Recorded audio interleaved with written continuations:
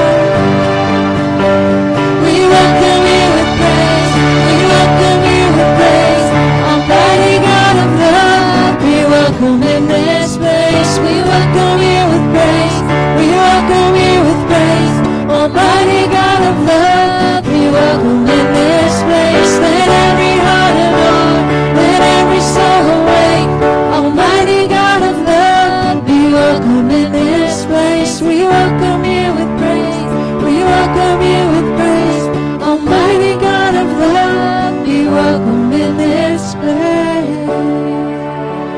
Say, be welcome here. Be welcome here, Jesus. Right here in our hearts.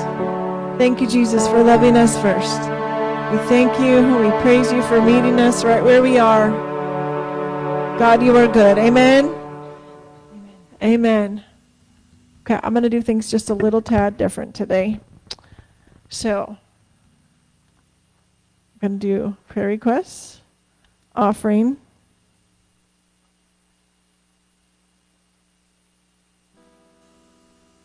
Trisha and Mike has something. And then Trisha's going to teach, then I'll teach. Okay, we'll worship between there. We'll let the Lord flow. So, does anybody have a prayer request at all? Anything? Any needs? Any any thank yous, Mom? People with COVID and other things too. There's so much going around, mm-hmm. colds and COVID plus other illnesses. Anything over here? I know that we all prophesy in part, and there's there's the real prophetic and there's the false prophetic. But you know, just the the prophetic flow, it just seems like they're just giving everybody a heads up warning of things to come. Everybody's kind of no one really knows the time when it comes to prophetic words being fulfilled, but everybody's kind of getting the same warnings. And so just that God would I know he's strategic, but that we would really hear him and and and desire to hear for instructions as well as um, wisdom. I'm asking for wisdom. Are you going to elaborate on that a little bit when you talk? Sure. Okay. So I have two things. Just a second. You can just come say over. Does it? Thank you, Josh. So there's a gentleman that came to our service. Oh, I don't know, month and a half or two ago, Salvador. He was driving by when I was putting the sign out, and his wife, who passed away six years ago, her name is Laura. Um, her birthday's on Tuesday. So let's just pray for Salvador, just for his own heart.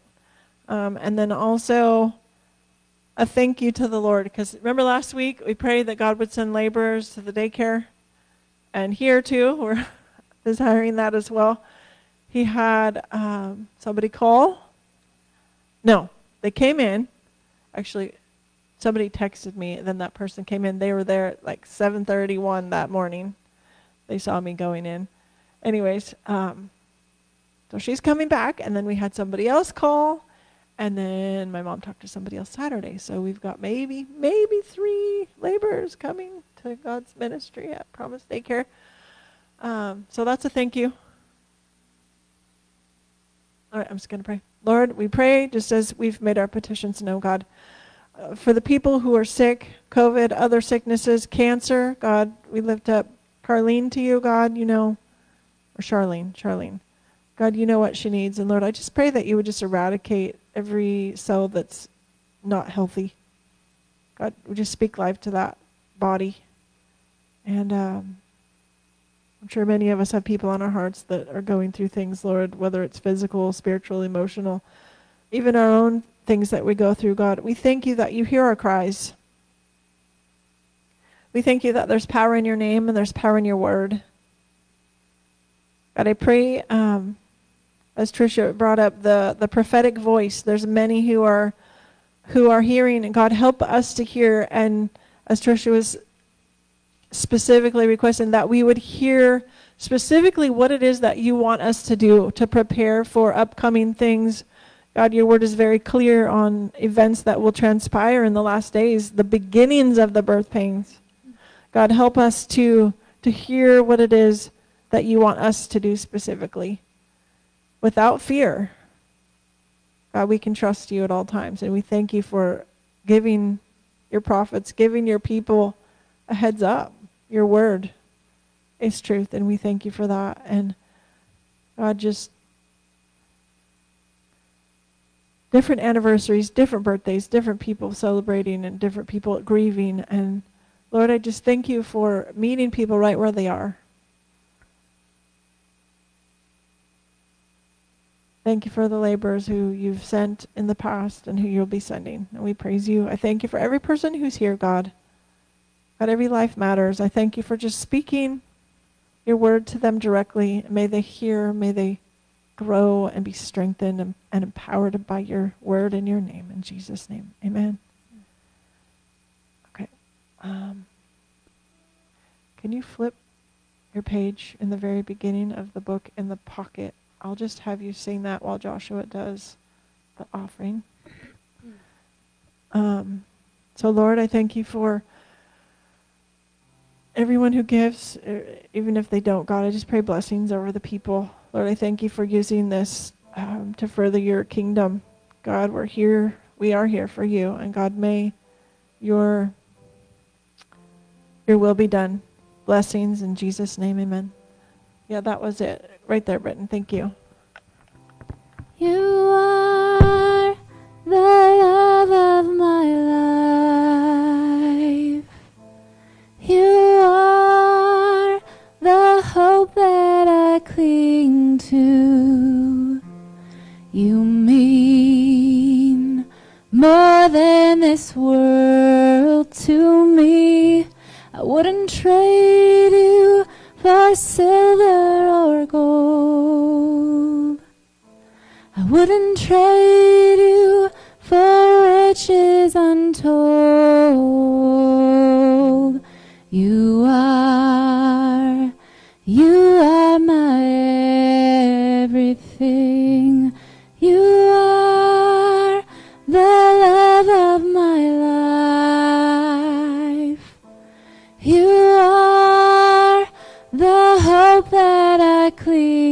To.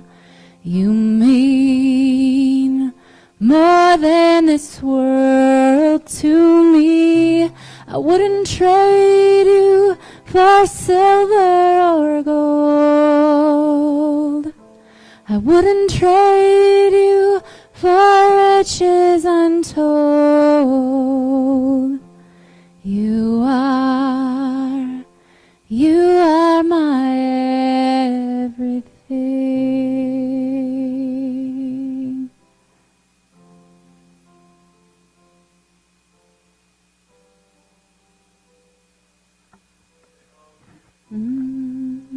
Hallelujah. So um, I'm going to be teaching this morning early, and I found something, and I sent it to sent it to a pastor who's a football coach with a long, lot of other people, and I uh, sent Mike one too because he's into big into football, and and his son is into football, and I thought as a as a dad to a son, Joshua, can you come sit by your dad? He's going to actually read you something. You want to sit where the cajon is? And then, Mike, if you could read this like a coach, this is a pastor. He's right. He's reading something about his coach and what meant to him. And Joshua, can you sit on that chair there? Your dad's going to read you something, and yeah, it's not super long, but it's about a five minute. And then if maybe you can, yeah, that's fine. You can sit there. That's fine. That's good. Just listen to the words, Mike, as if the Heavenly Father is speaking to you, and then go ahead and minister to your son and minister to the audience and what the Holy Spirit just wants to speak to you and through you in that. Okay, this is entitled Be Where Your Feet Are.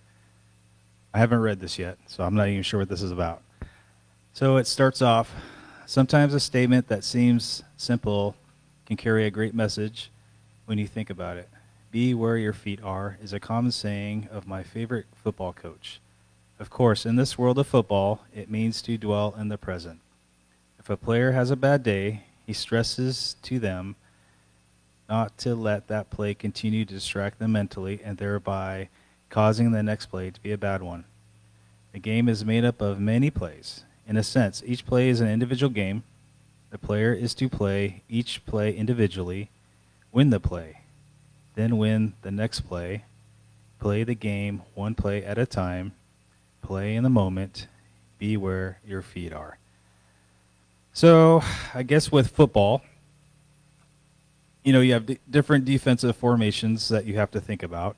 And though the play may not turn great that one play, you have to reassess things and continue to go forth and do your best. So you can't let a bad play put you down for the next play. So don't get caught up in your past. Okay? Don't look too far into the future, but look at your present day. It's just like worrying about something. How many times have we thought about something that's going to happen tomorrow or next week, and then the day that we're living in kind of goes to waste because we're too worried about that thing that hasn't happened yet? So I'll continue to read. Similarly, there is a really powerful message for us in life. Play one play at a time. Life is made up of days. The psalmist tells us to number our days in Psalms 90:12. We would do well to live our lives one day at a time and strive to win each day. Don't let yesterday ruin today, and by the same token, tomorrow's concern can ruin today as well. Kind of like what I just said. Paul had many bad things in the past to which he could dwell. I am sure he remembered his days of persecuting God's people. Yet, he writes to the Philippian church, forgetting those things which are behind. In Philippians uh, 3:13, I think Paul would have agreed with the "be where your feet are" idea. On the other hand, James urges us to be careful when making plans for tomorrow. James 4:13 reads, "Come now, you who say, today or tomorrow we will go to such and such a city and spend a year there, buy and sell and make profit whereas you do not know what will happen tomorrow." I think James would have liked be where your feet are sentiment as well. The idea to live today, one can't change the past. We all have regrets, but the blood of Jesus can forgive our mistakes of yesterday, according to Jeremiah 31:34. God remembers them no more. Let us make the most of today. Let us be where our feet are today. My favorite football co- coach also had a saying that this is in line with today's thoughts. Coach Bryant carried the following poem in his pocket, in his wallet. This is the beginning of a new day. God has given me this day to use as I will. I can waste it or I can use it for good. What I do today is very important because I am exchanging a day of my life for it. When tomorrow comes, the day will be gone forever, leaving something in its place I have traded for it. I want it to be gain, not loss, good, not evil, success, not failure, in order that I should not forget the price I paid for it. Be where your feet are today. Make the most of today's opportunity. Win this day. That's good. That's really good. Which one? The the first one at the top. All right. Sometimes a statement that seems very simple can carry a great message when you think about it. Be where your feet are is a common saying of my favorite football coach. Of course, in this world of football, it means to dwell in the present. If a player has a bad play, he stresses to them not to let that play continue to distract them mentally and thereby causing the next play to be a bad one. The game is made up of many plays. In a sense, each play is an individual game. The player is to play each play individually, win this play, then win the next play. Play the game one play at a time. Play in the moment where your feet are.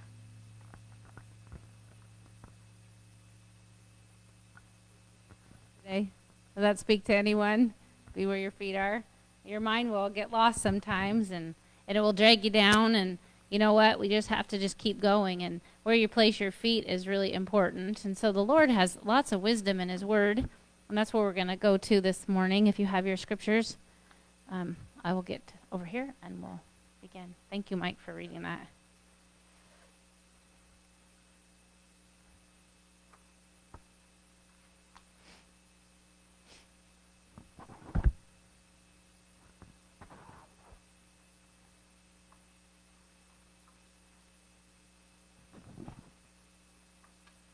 Anybody in here play football? Well, I never played football, but it, it speaks to me in regards to the daycare. We have to do write ups, and we have kids there 10 hours a day. And in that last 30 seconds of the day, when I only am with a parent for maybe two minutes, 30 seconds, and I have to give them a report of their child that they bit, I would never give them that, but the state makes us. And I hate that moment. It's like, the parents are so mad at us. And I think to myself, it was like, you know how many hours we're here in the day? It's like 10 hours in the day. And your child was bit by another baby in the last like five minutes. And oh, I just, and Brooklyn now is in that position where she's greeting the parents at the end of the day. She's like, this is terrible. I mean, they hate you, they hate the teacher, they hate the, they hate what you're doing. And you're like, oh. I mean, it's like, oh it's awful. And I and I just have had to go like, you know what? Just release it. We'll do our best to make sure they're not biting each other. But kids are fast. You guys know that things that happen in life come fast sometimes. And those little moments that are so fast and they're just like, I don't even know what happened in those moments. Anybody have any of those moments where you're like, that's just it's so fast. I don't even know what happened.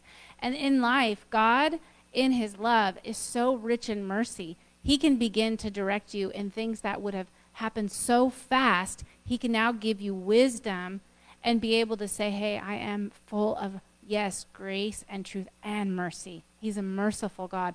And because He's merciful, He says, Come to me, all who are weary and heavy laden, and I'll give you rest. And I'll begin to teach your heart. And I'll begin to teach not just your heart, I want to teach your feet. So, everybody, look at your feet. Look at your feet.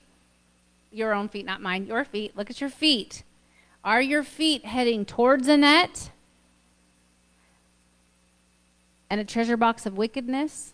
If your heart has wickedness in it and you draw out of the treasures of, of that wicked heart that you were forgiven from, if you begin to draw out of that, that's your flesh, and if you begin to draw out of that wicked heart, your feet are stepping into a net. Whose net? Not God's net. When God begins to make you a fisher of men, he begins to draw you into a different net and begins to show you a different treasure box, one that you hide his word in, and one that you begin to grow in and blossom in. And that treasure box has life and wisdom. And so, in that treasure box, can you guys have a visual of a foot? Now, you don't have to be wholly caught into that net. You can get out of that net. It's just your first little feet that are in there. And God's like, hey, I want to give you some wisdom. That's quick. If your feet are in, some, in a net, it can get tangled really fast. Do you know what I'm saying? So we want to be careful of that. And, and when we see the psalmist, he even talks about, deliver me my feet from that net. And, and his heart is wise. You can see his heart is like saying, God, I want you to purify my heart. God, I have people who are against me.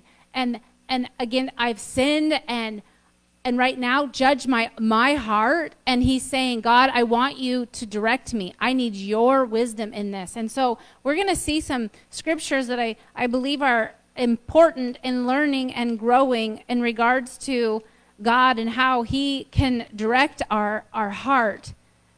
The ways of the lord. My topic today is trusting the lord with all of your heart so we have two scenarios. We've got our feet that are going to make a choice. They're either going to choose to hold, to pop open that old treasure box and live out of that old heart, live out of those old wounds, or we're going to take our feet the other direction and we're going to allow Holy Spirit through the power of the Holy Spirit to have his way in us to work in our lives. It's either like you want the world, the treasures of this world, and the pain of this world, or do you want the crucified cross life which brings the kingdom and the power and the wisdom and the glory that belongs to him and it belongs to those who fear him. And he begins to download his wisdom. So in love he gives us proverbs chapter 3 let's go there. Proverbs chapter 3 where are your feet? So it's not just your feet that are important. Your feet are very valuable which direction you're pointing in. But where is your heart in this? Let's read this in Proverbs chapter 3, verse 5, it says, Trust in the Lord with all of your heart. Not just your soul and your mind where it's going. The enemy is the enemy of your soul. He can get your mind in the in the garbage treasure box really fast. You can write down notes after notes after notes how deep that darkness goes and how wicked that wickedness is. But a mind that's fixed on God and saying, God, I don't want to trust in, in this darkness. I want to trust in you, Lord, with all of my heart. Let your words wash me. Let your word, and then your kingdom will come and your will will be done. And I'll begin to grow past these things that used to torment me. I'll begin to rise above them in your wisdom. So he says this in Proverbs, this is a wisdom. Solomon saying here, we're going to get to Psalms, the psalmist as well, but trust in the Lord with all your heart. With your heart, trusting in His Word. Don't lean on your own understanding. Everybody, touch your brain. Your brain is where you think, your brain is where you process. And God says, trust in the Lord with all of your heart and don't lean on your own understanding. In all of your ways, there's ways inside the heart that are separate from everybody. Touch your head. Now touch your heart. Pat your heart. There are ways. Everybody say, make a W and say ways in the heart. Trust in the Lord with all of your heart. Don't lean on your own understanding. In all your ways, the ways of your heart, the ways of your heart, acknowledge Him in your heart, and He will begin to direct your path. Don't be wise in your own eyes. You need to fear the Lord and depart from evil. So there's a little there's a little bit of a nugget of a test right there. Did you see it? If you're going to trust in the Lord with all your heart and not lean on your own understanding, that means you're operating now out of the treasure box, the wisdom that you're getting from God's word. And now he's going to say to you in you're inclining your ear to hear him and he's going to say, "Okay, see this test? There is a test that's approaching you. Now, I'm not okaying that test. I'm preparing you. I'm telling you there is a test that's coming. That doesn't mean that I give you clearance, that I'm saying, yeah, just have right at the test. The Bible's, he's telling you, he's giving you the instructions. There's a test that's coming. Oh, God told me there's a test coming. I'll just be a ding dong and just do the dumb thing. Is that what God says to do? No, with a test, he's saying the enemy of your soul is going to come with a test. Now, because you're operating out of the kingdom, time is going to get slowed down, and you're going to have some wisdom that's going to help you not to get your feet caught in a net, and then pretty soon you're all in a snare. He's going to keep your feet from the net. He's going to keep your feet, your feet, because your feet are toward towards Him. Now he's saying, okay, you, you're listening. Your heart is listening. There's ways in your heart that the enemy has in you. Create in me a clean heart, the psalmist says. Oh God, God created me a clean heart. I can feel the enemy coming and he's tormenting me. And God's like, right, let my words lead your heart. Do not let lean on your own understanding in this. In all your ways, the ways of your heart need to be guarded. Now you don't have your helmet on right now, but you got your breastplate on to guard your heart. But now your mind is fully open to the enemy, and you have no helmet on. God may tell you, and and and God's like, "That's you. You're removing the helmet," and, and you're like, "I am. I'm just letting that enemy free range like a chicken, just eating all my thoughts, and and then the the fallows come and the, yeah and, and, he's like yeah you're letting it all just all the landing all that enemy just land right on in there. And you're and god's like yeah you need to wear your helmet. And pretty soon you need to take out your sword and you need to speak out of your mouth and you tell that devil where to go. You tell those thoughts where to go. You tell them to submit. And you tell them no you will not land. And so god in his love saying trust in the lord with all of your heart. Do not lean on your own understanding in all of the ways, the ways of your heart, the ways of your mind, and your body, in all of your ways. You need to allow me to direct your path. So he says, the first thing he, get, he says is, is right, right after this. He says, the first thing, don't be wise in your own eyes. I need you to fear the Lord and depart from evil. What do you mean? I'm not doing anything evil. Right, but the devil in operation, that the person you're about ready to talk to, has a demon in them, and they know the enemy's ways, and that enemy's going to speak through that person, and that devil knows your past. He knows what you're going through. He knows what you're saying. He knows what you're thinking because he's onslaughting you. So he's going to use that pretty little girl, or he's going to use that, that temptation down the street, or that corner, or you're just going to bypass that person and they're going to speak something to you. And the enemy is at work. And he says, I need you to depart from evil, the discernment, because you're opening up the treasure box of God's word that you're hiding. And you're inclining your ears to hear me. I'm going to deliver you from evil. But you would have not recognized that as evil had you been operating still in your old treasure box. You would have been like, oh, yes. And they would have been. They would have been like you know people like to listen to soul music. They would have been baiting like a fish like a fishing like a a fish hook. They're going to cast that net out that cast that line out there and they're going to soul bait you. Hoonk! And they're going to wheel you in, wheel you in from your soul to their soul. Counseling of the soul. Oh, yeah, they meet me on the same level. Oh, they understand. That's right. They counsel me. You know what? I talk about my pain. I talk about my wounds. I talk about, and they totally understand. And pretty soon, their unforgiveness, they're counseling you by it, and shoot, you get a yank of your soul right into that soul tie. And so the Lord's saying, You're not going to see that because you're not, your feet aren't in the net. I'm going to keep you from that because now you're listening. Your ways now are guided by my ways. And that, that little conversation that would have totally hooked, line, pulled you right on in, I'm going to give you wisdom in it. And you know what? You're going to be able to fear the Lord, is the very beginning of wisdom.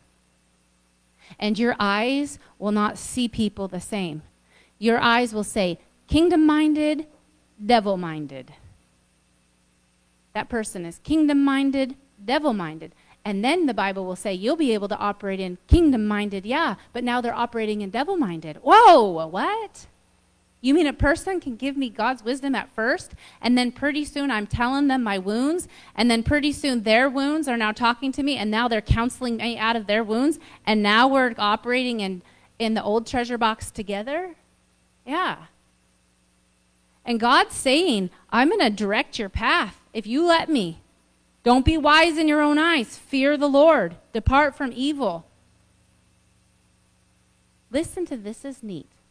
Now, this can be three things because God made a spirit, He made a soul, and we've been given a body. Listen to this. If you will do these things, open up the treasure box, hide God's word in your heart, you begin to say, God, I'm not going to trust in this. I'm going to trust in your word for the very first time or the 13th time. Remember, it's always a season. Maybe you went through many seasons with the Lord. This is a brand new season. You got pruned a little bit or pruned a lot, but not unto death. I was learning about that today. I was telling my husband, like, how far can they like prune? And it says in there, you can get pruned to the place where the tree dies. God doesn't prune you to the death. He prunes you so that you would grow because you're already growing in Him. It just might be a new season. Every, anybody been through a season with the Lord and then got pruned? Yes, it doesn't feel good, does it? But it's gonna. There's there's seasons in in our growth. There's seasons, and so in this, He's saying to you, whether this is your first time hearing this, whether this is just encouraging you to continue to grow, listen. He says, "It shall be health." So if you're trusting in the Lord, leaning not on your own understanding, allowing Him to direct your ways, your path, and your heart, you're not being wise in your own eyes, you're fearing the Lord, you're departing from evil, it shall be health to your navel, health and marrow to your bones. What does that mean? Health to your navel and marrow to your bones. Hey, babe, can you tell us really fast? Can you holler out what marrow is to the bones?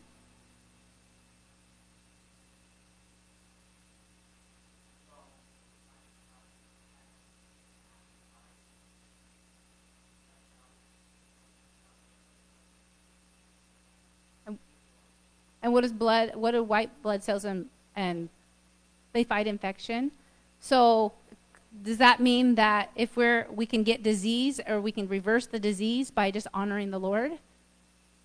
According to his word, that's what I see. It says, It shall be health to your body and bring marrow to your bones. I mean, that's what he was saying in here. And I was like, wow, God, this is healthy bone marrow releases blood cells. I'm like, okay, I'm going to look up that word. And healthy bone marrow releases blood cells in the bloodstream when they're mature. Um, without the bone marrow, our bodies, our bodies c- uh, cannot produce the white cells. We need to fight infection and their blood cells. We need to carry the oxygen and the platelets. We need to stop the bleeding. I'm like, God, this is like bigger than I'm understanding, but that's an amazing thing. So then I'm like, okay, God, I want to continue to read some more because I can see that you're at work here. Let's go to Psalms 119 about the position of the heart and how when God begins to, when you desire for God to create in you a clean heart, you're going to go through different seasons. The ways of the heart, allowing God to get the ways of your heart. Psalms 119, let's go to verse 161. Psalms 119, 161. Listen to his heart position here. Princes has princes have leaders, let's say leaders have persecuted me without a cause. He's talking to the Lord And he's saying, Leaders are persecuting me without a cause. Has anyone ever been through persecution and there really was no cause? I mean, we've gone through where there is a cause. But if you've ever been through persecution where there is not a cause, if you're growing up in the kingdom, you will go through that. And maybe you have been through that before, but you didn't know how to handle it. You're going to learn how to handle it if the Lord directs your heart. Leaders have persecuted me without a cause, but my heart stands in the awe of the, your word. So he was saying his heart was going to stand in awe of the word because the word was counseling him. The word was, the power was coming to, to meet. And, and I rejoice at the word as one finds great spoil. Have you ever gone in and like seen, have you ever been fishing before and you just come into a huge abundance of fish? Has anybody, does anybody fish? And you just it's amazing. To come in a spool and you fish and you catch it and it's exciting. Has anybody caught a fish before? It's really exciting. It's probably like a football game touchdown. Anybody excited about that? Well when you begin to rejoice at god's word when he begins to speak to you it's like a treasure in there.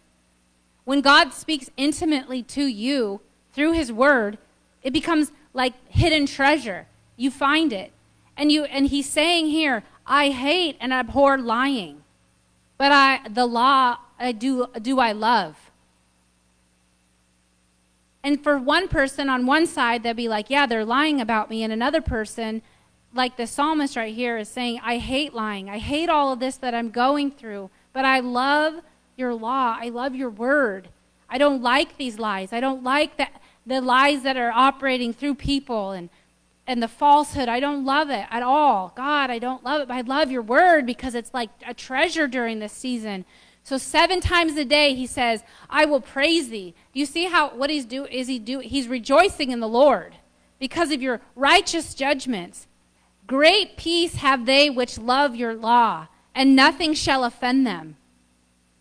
Lord, I have a hope for thy salvation. If you find yourself operating in offense with someone, I'm just letting you know you guys, listen. It's a step into the net. Step into the old. Offenses are going to come. And you're going to have to say, God, I'm wounded. I don't want to go there. Pull open the treasure box of God's word and allow Him to counsel. You don't want your heart to go into offense mode.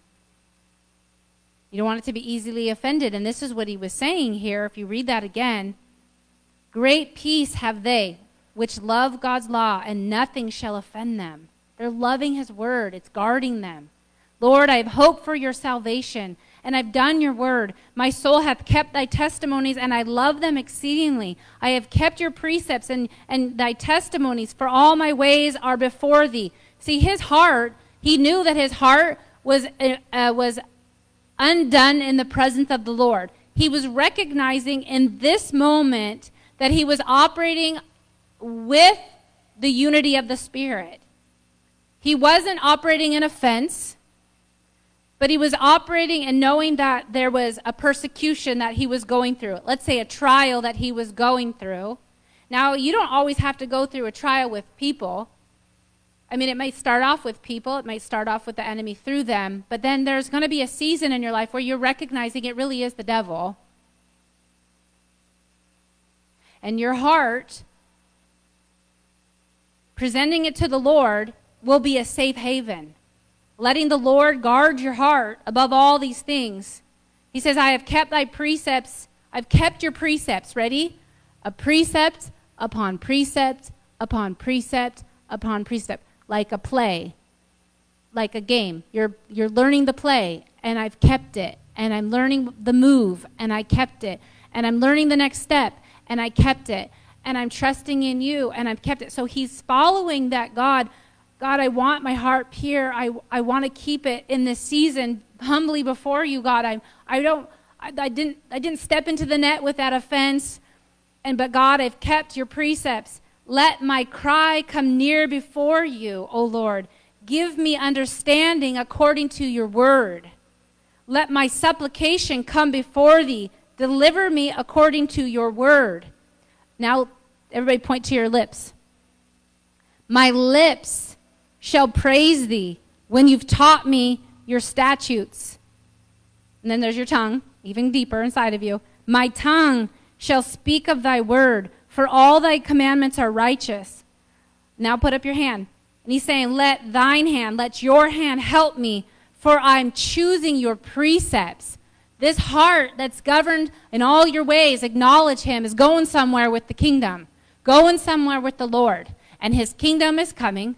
His will is going to be done. He's going to impart unto you in this, in this season, in this time. And he says, Let my soul live and it shall praise thee, and let thy judgments help me. He was recognizing there was a difference between his heart and his soul. Listen, he says, Let my soul live, because his soul was being bombarded, but his heart was being guarded in all his ways of his heart. He was acknowledging him and letting him direct his path. Do you know that you can be comforted by God's Spirit by, be, by being attacked by the enemy? And then God is going to teach you and make you ready to be a soldier to be able to learn how to fight battles that you never won before, governed under this mind, you're defeated every time. You sound like your pain. You think like your pain. You hurt like your pain. Your spirit hurts. Your soul hurts. Your physical body is hurting. That's a mind that's fixed on the flesh. Oh, and how hurt those things are. How deep those things are. But a mind in Him, there's peace and there's life and there's the freedom that's there. Our help comes from the Lord. Let's keep going here. Verse 174 I have longed for your salvation. This is not something that maybe has just happened overnight. This is a season. I have longed for this rescue mission of this situation. O Lord, thy law is my delight. He has learned to delight in, his, in the word. Let my soul live, and it shall praise thee, and let thy judgments help me. I have gone astray like a lost sheep. Wait, what? Whoa, whoa, whoa, whoa, wait. I have gone astray like a lost sheep. Well, I thought that he was presenting his heart, that he was making right choices, and that he wasn't letting the offense come but he's positioning himself humbly before the Lord and saying, I have gone astray like a lost sheep. His soul was lost, but his heart was being running to the Father, running to his mercy, running to him. He knew where his help would come from. Listen again. I have gone astray like a lost sheep. Seek thy servant, for I have I do not forget your commandments. He's saying, I've wandered off the right path somewhere, my thoughts, my body maybe wasn't getting trapped in the net. My heart is wanting your ways, but my soul is like, I feel like I've wandered off. And who's the good shepherd of the soul? Jesus is. So in this word, we're going to go to the heart of the Father. Look, we're going to look at a scripture verse that I just I, I saw it today and I and I don't want to I don't want to miss it. Matthew 12. We see a couple different people groups here. We see the ones that love the law to the place where you're you are dead in your sin and they hate you because the law is the law and the law I, I, don't know if you guys have ever had anybody hold the law up to you but it wasn't done with mercy i've had people hold the law up to me in season where the law was the law, and I don't care how much cross you have died to, you're you're never dead to them, and they're going to hold that devil will make sure that you will know that you sinned.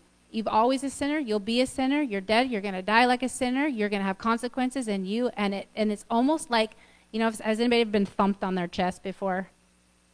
That that kind of accusation by the devil. Does anybody know what I'm talking about? If it's not a human, it's the devil. He shames you and you don't know. It's like you're dead, like a like a a, a, uh, a like a cow that's dead, and the devil will pick up the cow and say, "You need to keep killing the cow." And it's like the cow's dead. I don't know how to die anymore to it. It's dead. Does that make sense? And you're like in this like I don't know what to do. Like it's to the place where you're you don't know what to do because it's the devil is so shaming. Has the enemy ever shamed you before?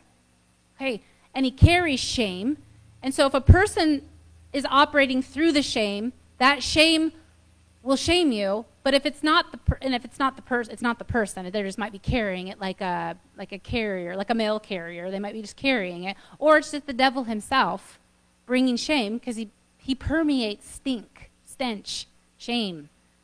That's how he, that's his atmosphere. So when you get to this place where we're in a position where Jesus now is in the ministry, you're going to see different types of people coming to Jesus. You're going to have the law abiders that don't love his word with mercy. They love it to the place to shame. And the Satan holds the holds God's word to shame. God's word will hold God's word in truth with a righteous judgment with mercy in mind in the end. To bring about judgments into victories. So let's look at Jesus' heart here. I love this. I don't know who this is for, but I pray that the Lord will speak life into your heart, revive life into your heart. Matthew chapter 12, verse 11, verse 10. And behold, there was a man which had a withered hand. Why did he have a withered hand? Well, backing up at that other scripture verse, you can get sick from sin. Was he born with it? Was it his parents' sin? Either way, it came from the fall. Was it his own sin and then sin entered into his hand? Did he sin and then and then shoop his hand withered? Was he sick from something? Sickness didn't come from God. So it came from the, ultimately from the fall from sick. So there was a sin, whether it came generationally or it came through uh, the bloodline generation, it's the sin, or it came through his own sin. Something happened. And he has this this hand. And they and so and behold there was a man which had this withered hand and they asked him saying, Is it lawful to heal on the Sabbath? That they may accuse him. So they were already going to accuse him. The question that they asked the man wasn't going to be merciful for mercy's sake. It was going to be to accuse If that's you, you're, you're not operating in kingdom. You're operating in the dark kingdom. So guard your heart, wash your heart. When you can ask a question without accusation and say, like, this is okay to ask. Is it, is it okay? Is this okay to, uh, is it okay to heal on the Sabbath? Versus, is it okay to do something like that on the Sabbath? Very different, same question, very different what? Different what? Different heart positions. And he said unto them, but he had told you what heart they were operating in, an accusatory heart. And when he said unto them, What man shall there be among you, so this is Jesus' ministry now, that shall have one sheep? He's trying to make this make sense to them in love. What man there among you that shall have one sheep, if it falls into the pit on the Sabbath day? I mean, look at, listen to his mercy. If he falls into the pit, will you not go lay hold on it and lift it out? How much then is this man better than a sheep? Wherefore, is it lawful to do well on the Sabbath day? Now, watch what he does. Now he's going to operate in the kingdom power. He was operating out of the heart. Now the power is going to come. Then he said unto the man, Stretch forth your hand. And he stretched forth his hand, and it was restored whole. Whole. Whole is all of it, whole. And it was restored whole. Then the Pharisees, the ones that had the law but didn't love it with mercy, didn't love it with a, a heart that was that was circumcised. It was just the letter they had. They had the letter, and the letter will kill you. I, I, don't know. I don't know how to say it anymore. If you've never had the letter try to kill you, I mean, it is there to expose, but it is not there to kill the dead cow if you've already died to the cross. Does that make sense? But when Jesus knew it, he withdrew himself from that then, and a great multitude began to follow him. They wanted to be healed. They began to follow Jesus. They began to follow him. So there's the, the law, but they began to follow the, the love of the Jesus who, who was came and and he was operating in this kingdom, this power, and this love. And it was his kindness that led these people to going, they probably maybe even knew at that withered man's hand who he was and what he had done. And he healed them. That was the Lord's heart, that was his mercy. And Jesus knew it. He withdrew. All these multitudes followed him. And he charged them that they should not make him known. Verse um, 20, listen to this. oh, the, verse 19. He shall not strive, neither shall any man hear his voice in the streets. And this is his heart. A bruised reed, all these people are coming with the wounds. All these people with devils are coming. All these people with, that are blind. Why were they blind? Why did they have devils living inside of them?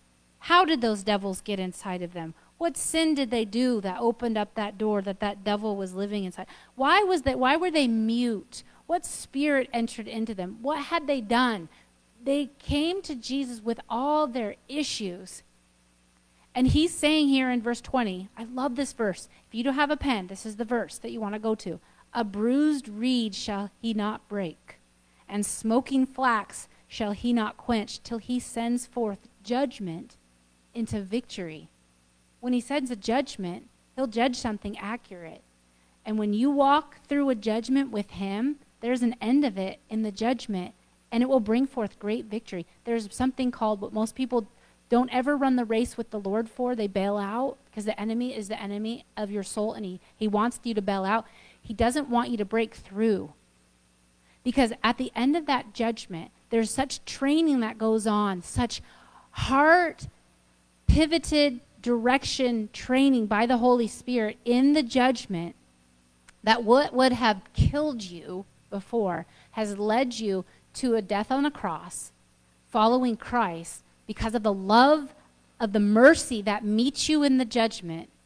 And he begins to give you his wisdom. He begins to give you his power. He begins to give you his wealth of counsel and the sevenfold Spirit of God begins to minister to you, to give you an understanding. Let's say you're the person with the withered hand, and you know your past, and you know what that felt like, but you came to the one who would save you, and you have all these accusers behind you saying, should you heal him on this day? Why would you heal him on this day? We want to kill you for trying to heal this man. And there will be accusers of the brethren. There will be the devil's voices when these miracles start taking place in your life. But guess what? God's sending forth a judgment into victory, and in his name shall the Gentiles trust. Then were brought unto him one possessed with the devil, and the blind, and the dumb, and, and he healed them, insomuch that the blind and the dumb both spake, and they saw. You guys, this is his heart to send judgments into victory to send forth his word and to bring healing into your life and into the things that you thought that never the lord could have never done so in his word let's go to jeremiah chapter uh, joshua chapter 1 verse 3 really fast jo- really fast joshua chapter 1 verse 3 we're going to continue on with the heart we're going to continue on with the feet and we're going somewhere and then we'll close joshua chapter 1 verse 3 says every place, every place. This is what the Lord speaking to Joshua. So no more Moses. No, Moses led them to the promised land, but he didn't go in. This is the part of the cross. This is this is your cleansing season. This is the eh, they're gonna you're gonna learn to be a warrior now in the next in the next season of your life, learning to inherit things. And so Joshua's getting raised up, and, and so God is saying to Joshua, every place that the sole of your foot shall tread upon, that have I given unto you, as I said unto Moses.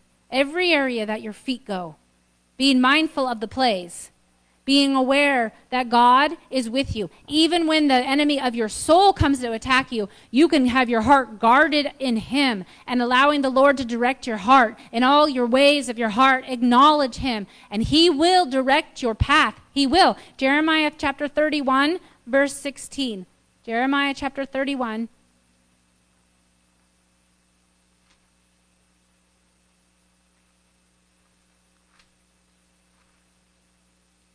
Starting with verse 16, he says, Oh, this is such a good chapter. Let's start with verse 1. I'm going to skip around this really fast. 31, verse 1. At the same time, saith the Lord, listen to his heart, will I be the God of all the families of Israel, and they shall be my people. Remember, they, they've harloted themselves out. He so wants them. Thus the Lord the people which were left of the sword found grace in the wilderness, even Israel when I went to cause him to rest. The Lord hath appeared of old unto me, saying, Yea, I have loved thee with an everlasting love. Therefore, with loving kindness have I drawn thee. With his loving kindness, he has drawn thee. Oh, your heart was wayward. With loving kindness, he's drawing us. Verse 9 They shall come with weeping. Is that okay? Is repentance? Did you see people in full on real repentance a weeping? And even if you don't feel that, and there's just a feeling of a hardness, and you come to the Lord, there will be a season where you'll understand that the weeping is like a mourning and it's like a freedom at the same time. And they will come with weeping and with supplications. They're going to come with a prayer request. They're going to come before his throne room. Will I lead them in the weeping and then the supplication? I will lead them. He's leading them back. If this is a bigger picture, he's leading them back. I will, he says, cause them to walk by the rivers of the waters in a, in a straight way, wherein they shall not stumble. These are people who are used to stumbling. And he's saying, I will lead them in my loving kindness back in a way where they shall not stumble, for I am a father to Israel, and Ephraim is my firstborn. Hear the word of the Lord, O you nations, and declare it in the isles afar off, and say, He that scattered Israel will gather him and keep him as a shepherd does his flock. For the Lord hath redeemed Jacob and ransomed him from the hand of him that was stronger than he. When you look up that story about Jacob, you're like, he got ransomed from something that was stronger than him? You mean there was a spiritual realm around Jacob that was scaring him, trying to go after an inheritance that wasn't his? He was going to get it in a different way, but he tried to get it his own. And, and if you follow the family's journey, God is after this family. His loving kindness is after this, the heart of this family. And the Lord redeemed Jacob, he said, and ransomed him from the hand of him that was stronger than he. He kept ransoming this family from generation to generation. He so wants them. Therefore, they shall come and, and they're going to sing in the height of Zion. This is what his prophetic word can see this. And they'll begin to flow together to the goodness of the Lord for wheat and for wine and for oil and for young of the flock and of the herd, and their soul shall be as a watered garden. Their, their soul will be as a watered garden, and they shall not sorrow any more at all. They came to him weeping. They came to him with supplication. And he says, I, I will cause them to walk by the rivers of water in a straight way. And I will cause them to flow together, bringing unity and, and their soul will begin to be watered. When a soul begins to be watered, it's beginning to prosper, and they will not sorrow anymore. And they will begin, the, then shall the virgin rejoice in the dance, both young men and old together. For I will turn their mourning into what? Joy. That's his heart. He can do that. And I will comfort them, and I will make them rejoice from their sorrow. Seeking the Lord in all your ways that's where He's going to lead you. It's a walk of faith. But from faith to faith, He's leading you. And I will tie the soul of the priest with fatness, and my people shall be satisfied with my goodness, saith the Lord. Thus saith the Lord, a voice heard in Ramah, lamentation and bitter weeping. Um, Rahel weeping for her children, refused to be comforted for her children because they were not. That was a season. Thus saith the Lord, refrain thy voice from weeping. It's time to stop weeping, he's saying. This is a new season. And your eyes from tears, for your work shall be rewarded. Remember, I've been talking to you guys about and encouraging myself what you've done for the Lord will be rewarded. Your time that you're spending with Him will be rewarded, saith the Lord. And they will come again from the land of the enemy. You're coming out of the land of Egypt. And you're coming out of learning how to operate out of your old heart into this new heart. And, and now he's giving you wisdom not to operate in even getting close to the traps. And now you're in this position where now he's showing you even how to get your soul out of snares and how he, he's able to rescue your your thoughts. And in these seasons that he operates in he's going to give you hope. And now listen to this what he says because inside of these seasons you have questions that come. And i destroyed that group and i hurt that one and god and then i didn't understand and i i don't even know what how are you going to do all that? He says i will. You're putting your trust in the one that says i will. I will make the river. I will make the way. I will Trust in me with all your heart. Don't lean on your old understanding. In all your ways, I will restore it whole. Look at what I did. Look at my son. I sent him. I showed you how the kingdom can come whole. My heart is whole. My heart is to bring you into the wholeness, to the shalom. Nothing missing, nothing broken. It comes back in return all restored, like booty, the whole thing. It will be like treasure. You're coming into the treasures of God. You're coming into the inheritance of God. And he says there, and there is hope in thine end, said the Lord, that thy children are going to come again back to their own border. Is there hope in that? That your children are going to return as if nothing was missing, as if nothing was broken, all restored, all returned. So he gives us this, this little bit and this little ending, verse 18, and we're almost done. So incline your ears because he says that the ending, there's hope in the end. There's hope in thine end. I have surely heard Ephraim, remember his firstborn, bemoaning himself. He's saying, I have heard you weeping. I've heard your pain. You're my firstborn. I love you. You've left me. I'm, my loving kindness is pulling you back. And listen to Ephraim's cry. Listen to what God hears as his cry. You've chastened me. I was chastised as a bullock, unaccustomed to that yoke that I walked in. This is his heart saying, I wasn't that little quick move that caused the play to fail, which caused you to lose the game and and it wasn't about the whole team or the two hours of the game. It was about what you did. This is the enemy. About how you did that one moment in time move that changed your trajectory of your whole entire life. And the enemy is almost like this magnifying, zooming glass. Zoom, he zooms in on it for you in seasons. And you're going to have to, like the psalmist, God, I'm not going into sin. But God, this devil is nasty. In all your ways, Trisha, in all your ways, say your name direct, let me direct your path. I'm going to keep you from the enemy. I'm going to give you, don't go by your eyesight, but I'm going to give you a vision.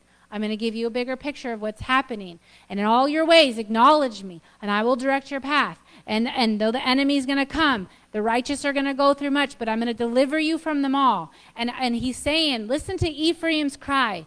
Listen to him. He's saying, I was not accustomed to that kind of a yoke. Turn thou to me, he says, and I will turn thou to you. This is God in this conversation. For thou art thy Lord, my God. God is hearing him crying out, and God saying, If you turn to me, I will turn to you. And this is Ephraim's cry, and God's hearing it. And, and although Ephraim might not be able to hear God saying, Ephraim, I hear you saying, You're turning to me, and you're crying out for me to turn to you. I'm so towards you. I'm so towards you. I'm so for you, and that loving kindness.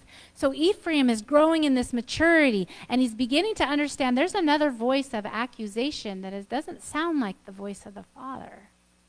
It's not rich in mercy, it's rich in shame. Just like the man with the withered hand could hear Jesus saying, You're healed. And he could hear the other people saying in his by his soul, because he could hear with his ears and your soul you process it, he could hear them saying, Why would you heal that man?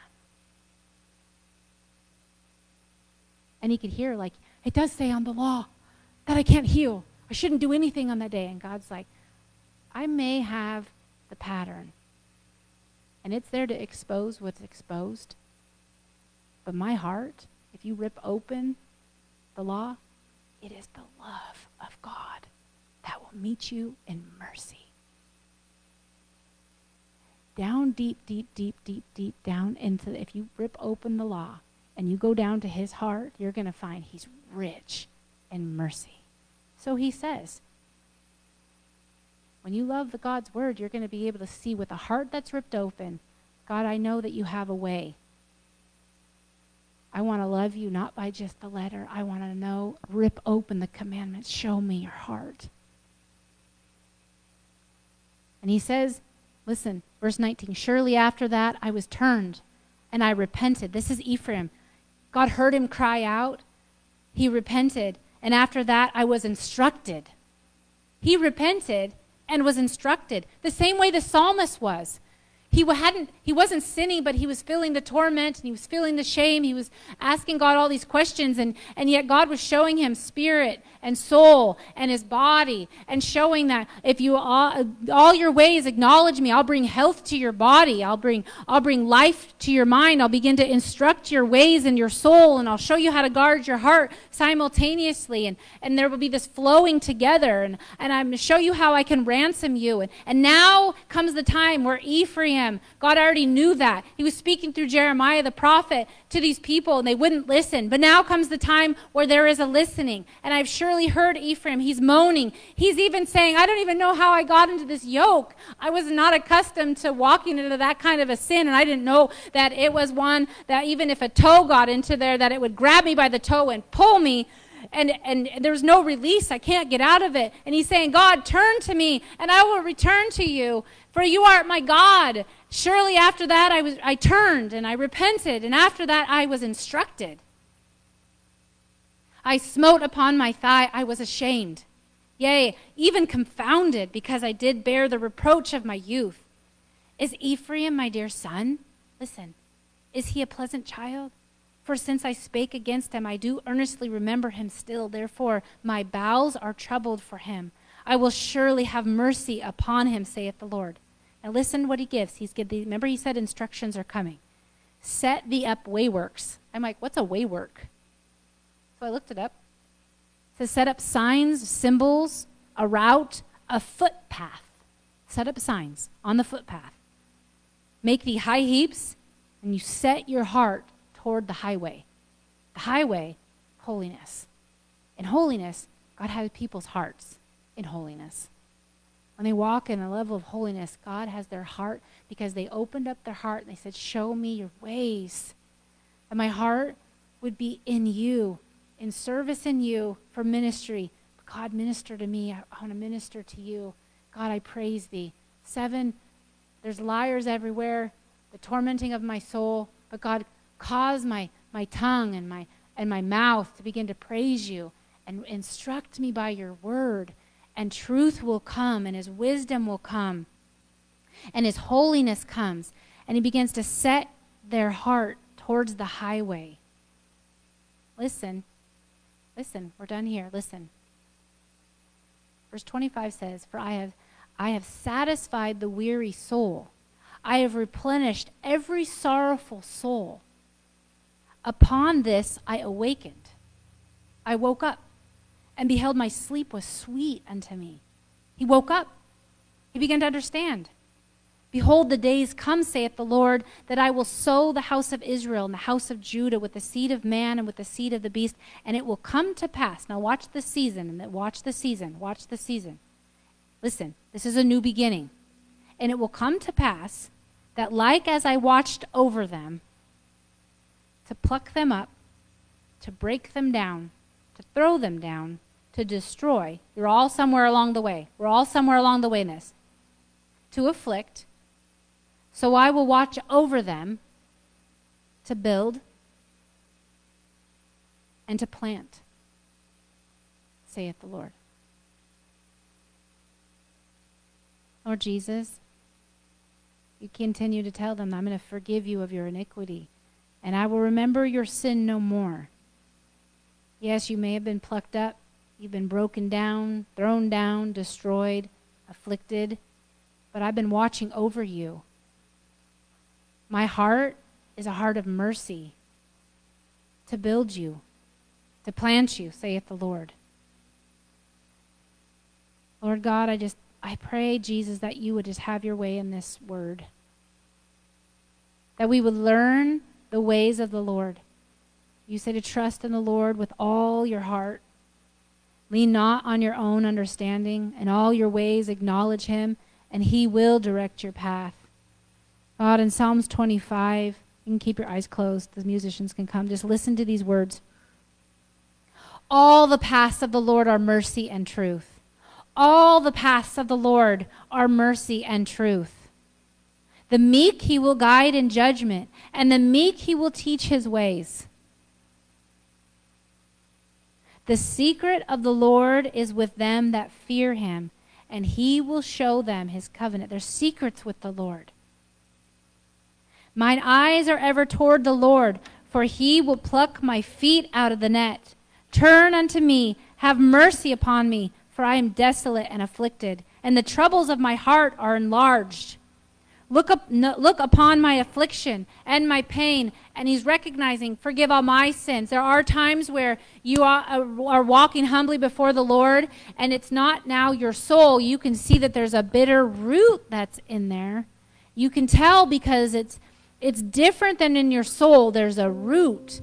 And the Lord wants to root out those areas. Cleanse me. God, forgive me. Now cleanse me from all unrighteousness. There may be a, something that's deeper in there that the Lord will take you on a journey to pluck it out, to root it out, to get rid of. And so, Lord Jesus, wherever we're at on this journey with you, God, in our faith walk, from faith to faith, from glory to glory, God, your, your eyes are before us, and your loving kindness is towards those, and your power is towards those that believe. You are so rich in mercy, God. And so, Lord Jesus, I ask today that this would speak a mighty truth. God, as we become more heightened, aware of something in our life that you're trying to move our foot and pivot it out of the wicked, out of the net, our, there will be an awareness that will come because your kingdom will reveal things in the supernatural well, realm to keep us out of the webs, to keep us out of the nets to keep us to hear when somebody's not not counseling or operating in the kingdom, but um, maybe giving you good worldly advice that's a bait for your soul. Holy Spirit, however it is that you need to to direct us, God, we want your heart.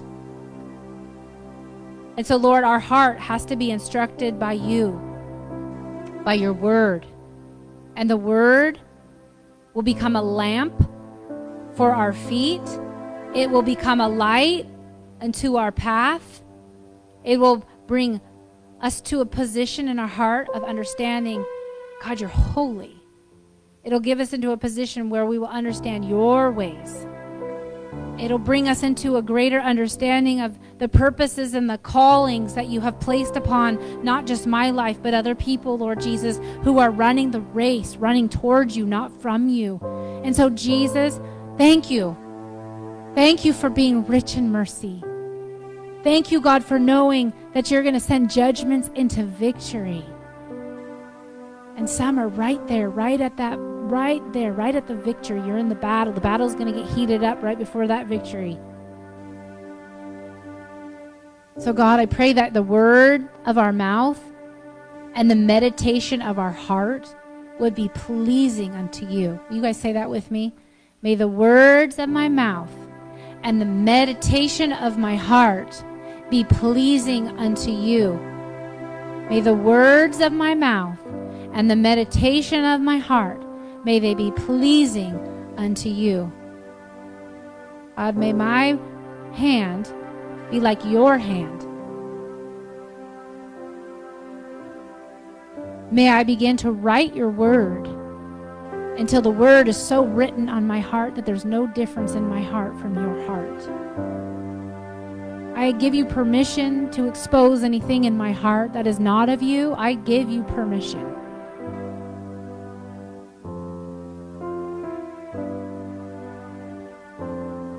God, send this judgment into victory. Teach me your ways, and I will follow in your truths. I know that your loving kindness is calling me. And just as the psalmist did in his journey, he began to praise the name of the Lord. And as we sing, God, these songs, I pray, God, that our, our whole spirit, our whole soul, and our body would be present. God, you're looking for those who will worship you in spirit and in truth. So, God, as we pray, as we worship, may this be how we learn how to fight a battle and may we get to see how when we sing and we engage our heart, we begin to understand, God, that you are fighting a battle and it, there's a victory that comes. Sometimes they're quick.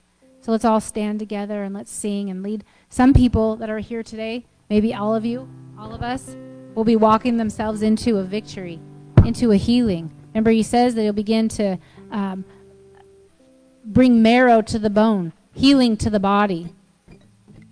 So if worship has been, boring to you, may it not be. May it be your medicine. May it be life. right. We're going to sing about praising Him. You guys can stand, like I said. Whatever you want to do.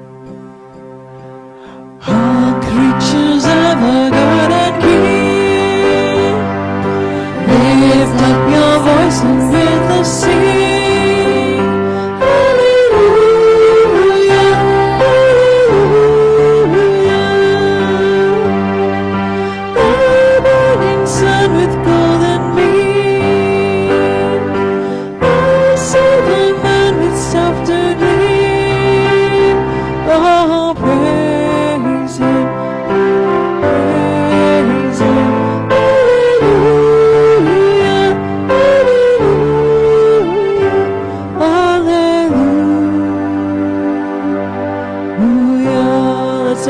Praise Him.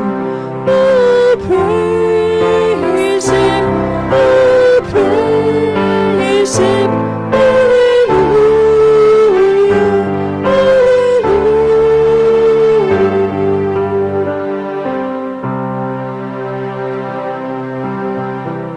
Oh, praise Him. Even We're going to sing, Come, Lord Jesus, now.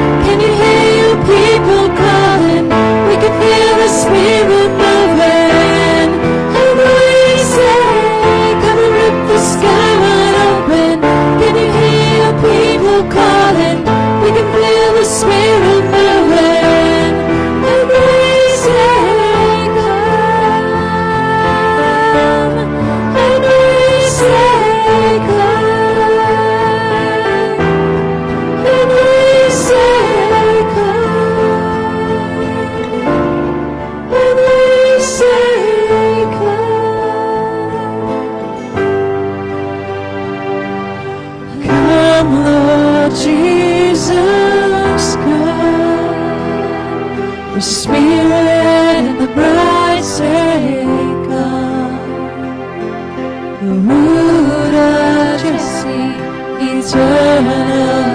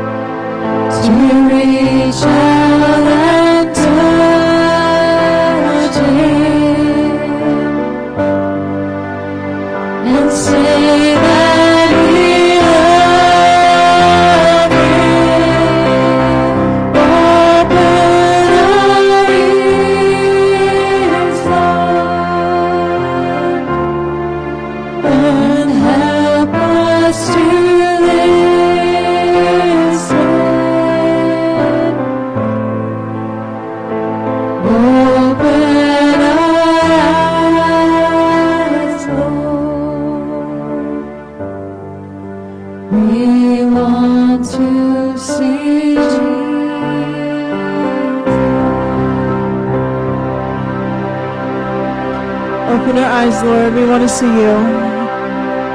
God, open our ears. God, help us to listen. God, speak to us. God, speak to us and speak through us. Lord Jesus, we praise you. We thank you for your faithfulness to us, Lord.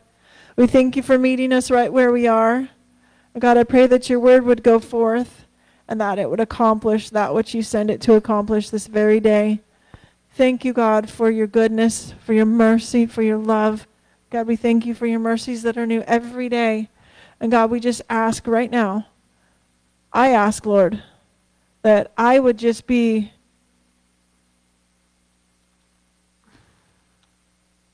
step out of the way and that you would have your way, God. I pray that you'd speak.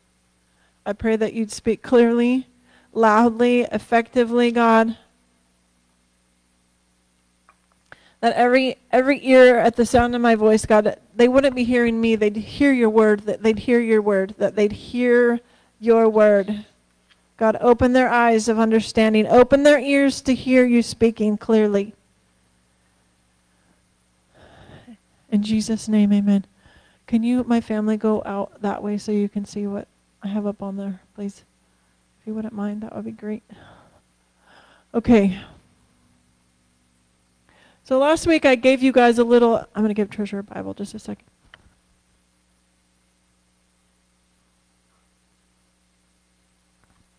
Just a brief little thing that came to me last week. Don't kiss the former. That's that's not holding on to the things of the past. That's letting go of activities, behaviors, things that have been done to you, unforgiveness, whatever it may be. Did anybody bring a scripture that they wanted to share? Did anybody get an opportunity to look anything up? Felix, you did? Romans, what is your chapter? Romans 7.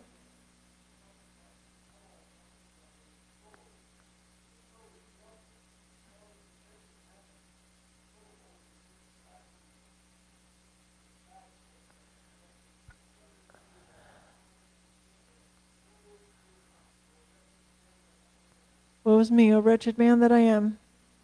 I so wanted to take him back to the places, but he was humble. Well, we're going to be in 8. So if you guys do have your Bibles, we will be in 8. Um, can I have the remote, please? Is it back here? Can you hand that? Thank you. So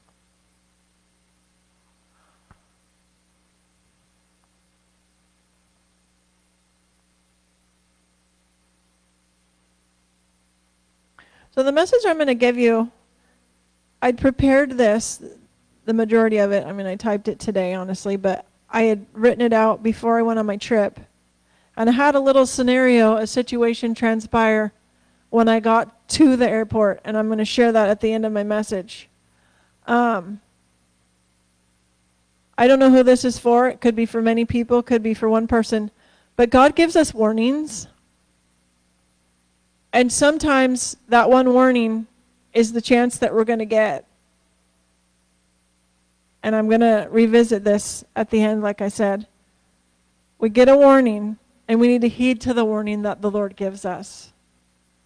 If, he, if you know that there's an area in your life that needs to be cut off, if, there, if you know there's something, idolatry, something that you're putting before God that needs to be changed, needs to be transformed, needs to have heart work, that you need to forsake and leave behind and abide in the will of God, today is the day to make an, a decision. Every day we choose. It's a choice. It's a choice to, to listen. It's a choice to obey. So I pray, Lord, just awaken us all. Help us. God, reveal to us that we would have ears to hear. So be conscious about listening to what God would want to speak to you. So today, just a quick overview.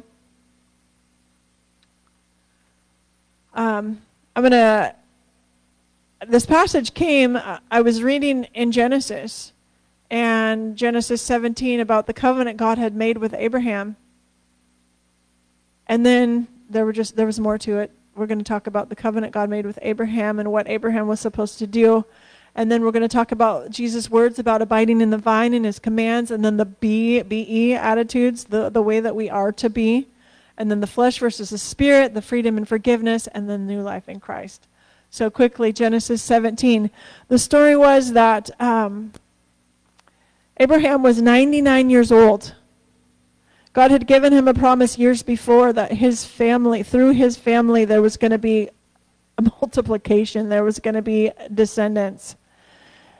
And you know the story of how um, Abraham and Sarah, or maybe it was Abram and Sarah at that point. I, this moment, I'm not sure exactly, but um, it was Abram still. They took they took matters into their own hands because, yes, I am sure it was still Abram. His name hadn't been changed yet, and Sarai's name had not been changed to Sarah yet. And they took matters into their own hands, but that's not where we're going today. We're going well, it is. I want you not to take matters into your own hands. I want you to follow what God's word has called you to do. So in Genesis 17, it says here, when Abram was 90 years old, if you have your Bibles, follow along. I'm going to read this, and then I'm going to elaborate when he was 90 years old and nine, so he was 99 years old, the Lord appeared to Abram and said unto him, I am the Almighty God. Walk before me and be thou perfect. What did he say? He told them who he was. I am God, basically. Be perfect. How do we become perfect?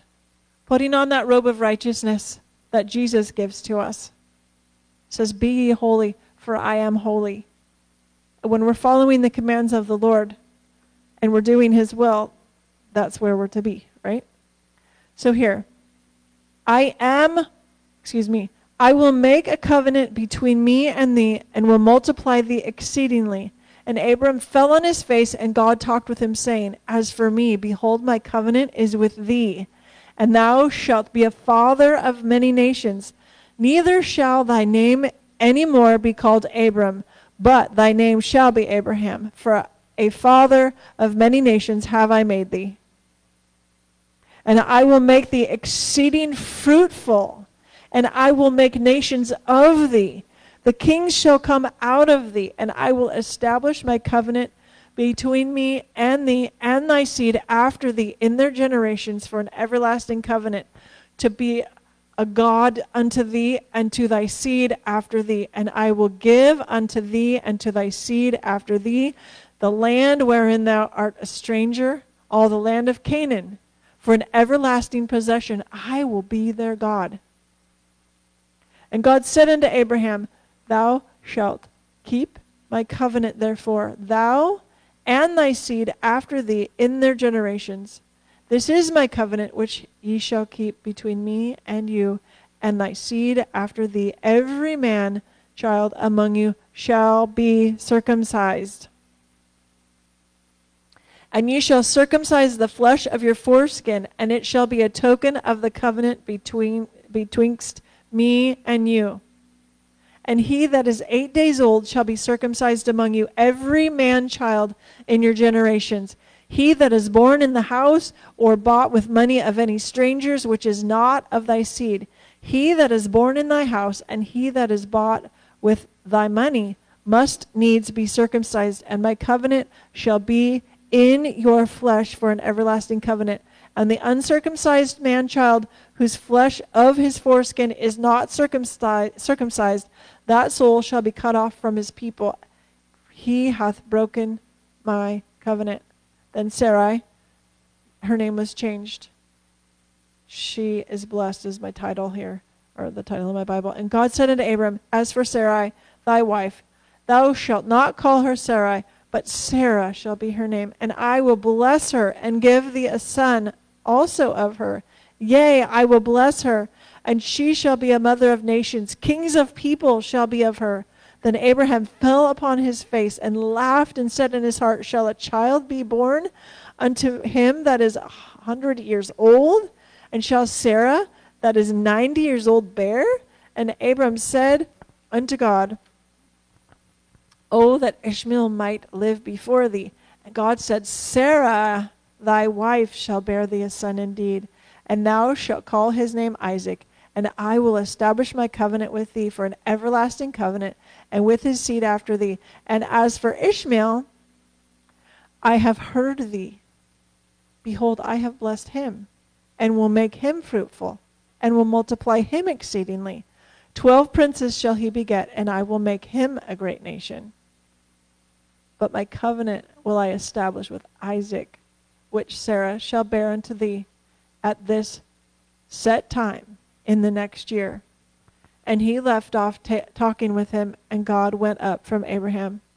And then it says, And Abraham took Ishmael his son, and all that were born in his house, and all that were bought with his money, every male among the men of Abraham's house, and circumcised the flesh of their foreskin in the same day, self same day, as God had said unto him. And Abraham was ninety years old and nine when he was circumcised in the flesh of his foreskin. And Ishmael his son was thirteen years old when he was circumcised of the flesh of his foreskin. In the self same day was Abraham circumcised as Ishmael his son. And all the men of the house born in the house and bought with money of the strangers were circumcised with him. Okay, so this is this was the sign of this covenant. Abra- excuse me, God meets with Abram, 99 years old, presents who he is, gives instruction, walk before me, be thou perfect. God presents his covenant. I will make my covenant with you and I will multiply the exceedingly.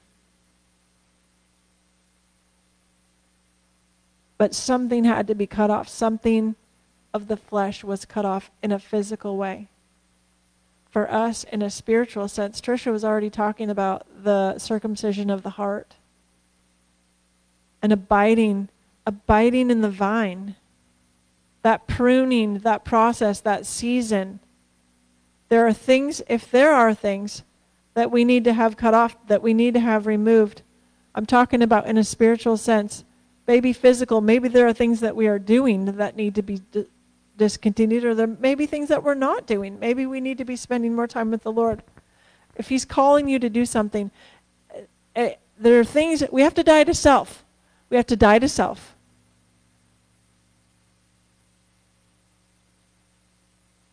Abraham fell on his face. There was that covenant presented. His name was changed. Something was cut off.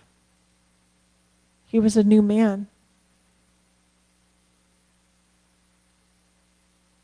When God gives us a promise, He's going to bring it to pass. He'll bring it to pass. When He gives us instructions, He wants us to follow them. So if you see in the message, it said that He did it that same day. If God's given you an instruction, does He want you to delay? He wants you to act. So, in our lives, there are sometimes things that must die in order for something else to come forth. So, I want us to go to John 15. These are words of Jesus.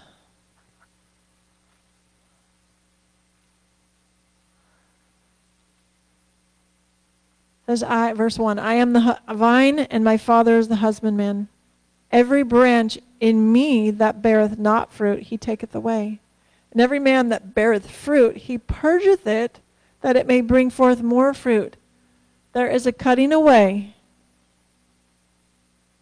so that what? Growth will come forth. It says, Now you are clean through the word which I have spoken unto you. Abide in me, and I in you, as the branch cannot bear fruit of itself, except it abide in the vine. No when can ye, no more can ye, except ye abide in me. I am the vine, ye are the branches. He that abideth in me, and I in him, the same bringeth forth much fruit. For without me you can do what? Nothing. Nothing. If a man abide not in me, he's cast forth as a branch and is withered. And men gather them and cast them into the fire, and they are burned. If ye abide in me, and my words abide in you, you shall ask what you will, and it shall be done unto you. Herein is my Father glorified, that ye bear much fruit. So shall ye be my disciples. As the Father hath loved me, so have I loved you. Continue you in my what? In my love. And if you keep my commandments, you shall abide in my love, even as I've kept my Father's commandments and abide in his love. And it says, These things have I spoken unto you that what? That your joy might be full. You want fullness of joy? Abide in God's word, abide in his commandments. I'm going to skip down and I want to read, let's see.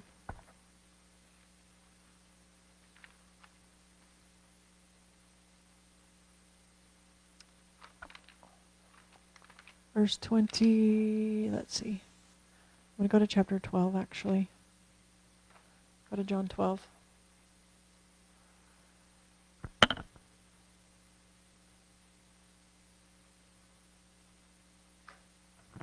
So in John chapter 12, Jesus was talking, people were talking to him. Verse 22, it says,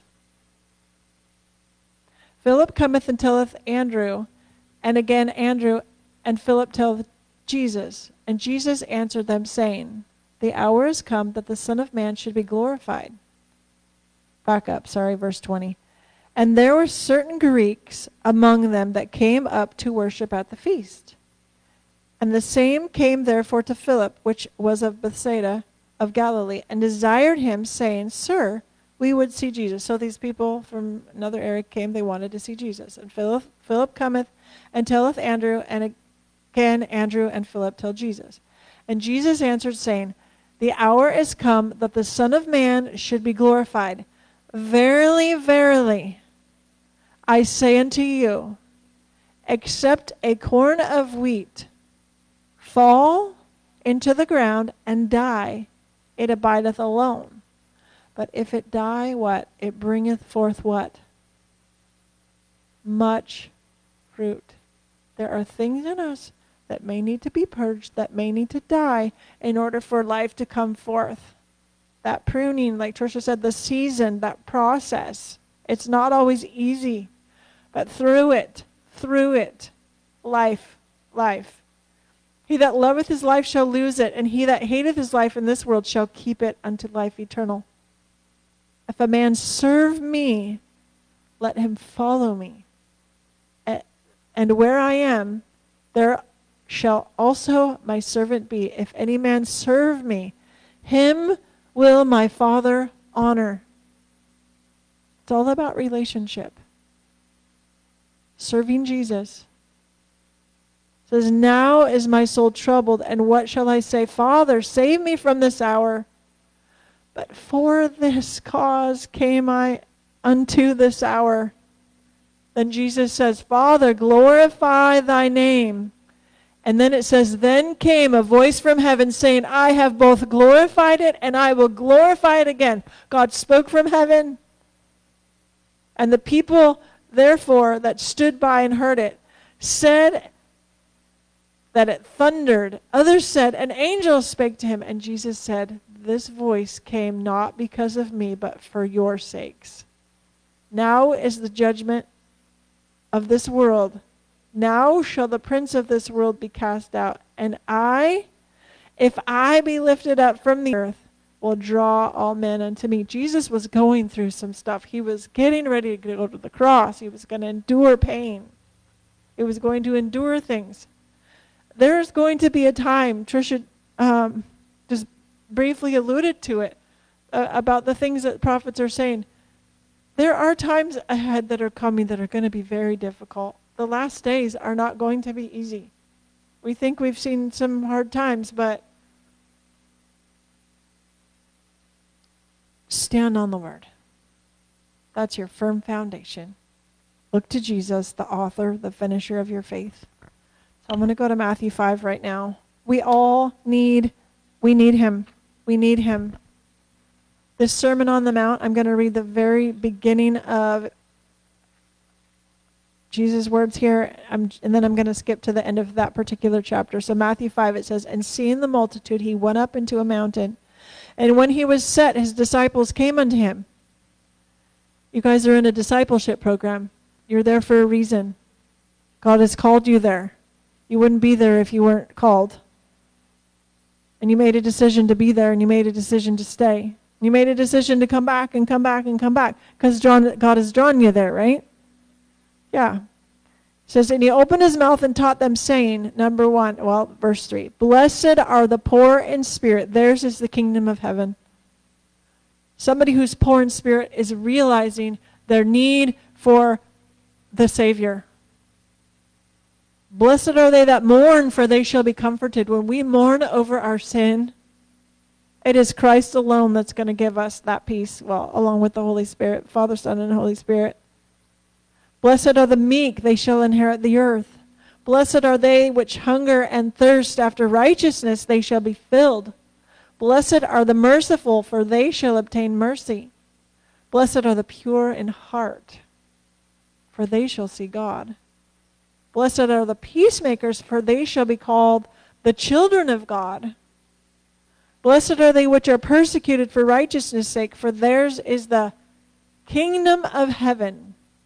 And blessed are ye when men shall revile you and persecute you, and shall say all manner of evil against you falsely for my sake. Verse 12 Rejoice and be exceeding glad, for great is your reward in heaven. For so persecuted they the prophets which were before you.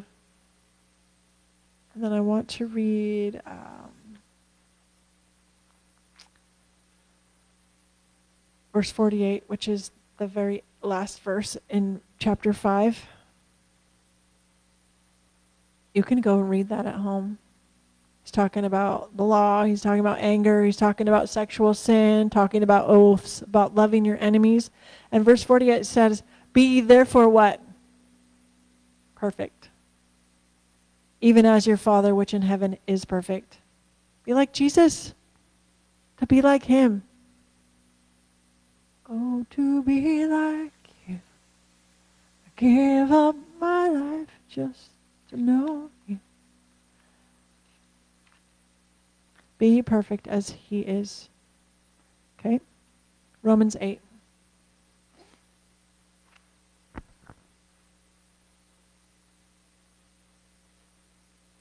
I skipped something, sorry. Romans 8. The flesh versus the spirit. My sister posted this on online the other day. I was like, that's perfect. That just goes right along with what I'm teaching.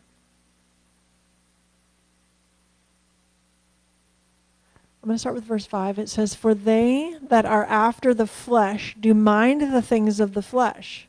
What are you concentrating on? What are you meditating on? It says, But they that are after the Spirit the things of the Spirit. For to be carnally minded is what? Death. But the spiritually minded is life to be spiritually minded is life and peace because the carnal mind is enmity against God. For it is not subject to the law of God, neither indeed can be. So then they that are in the flesh cannot please God if we are walking in the flesh. The works of the flesh, we talk about it, the two trees. There's the, the fruit of the Holy Spirit, and then there's the works of the flesh. All those things, look in Galatians 5, study them out. There's things in there that you need to be purified of.